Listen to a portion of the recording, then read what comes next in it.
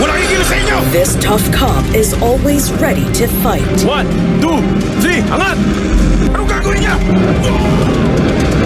The Protector, Thursday, 8 p.m. on G On GTV.